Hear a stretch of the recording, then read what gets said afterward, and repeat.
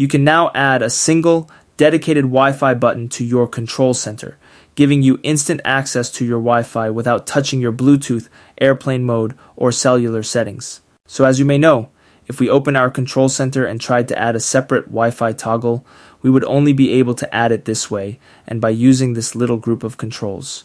But now I'm going to show you how to add Wi Fi without adding those other boring controls which you may not even use. The thing that you need to do before we start with the tutorial is to update your iPhone to the iOS 18.1 software update or newer. I'm already running iOS 18.1, so I'll open my control center by swiping from the top right corner of the screen. And now let's tap on the little plus icon in order to go into this edit mode. I'm going to tap on the minus icon next to this control because I don't want to use it anymore. And instead of that, I'll only add Wi Fi.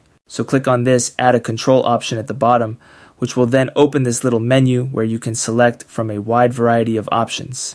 I'm going to use the search bar at the top of the screen and then type Wi-Fi. As you can see, here is a separate Wi-Fi toggle under the connectivity section, so let's add this to our control center by simply tapping on it. We also have the ability to make the toggle a little bit bigger if we need to by long pressing on this little hook at the bottom right of the toggle.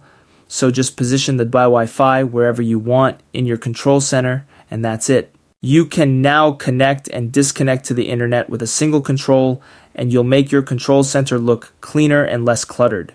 Thanks for watching, everyone, and I'll see you in the next video.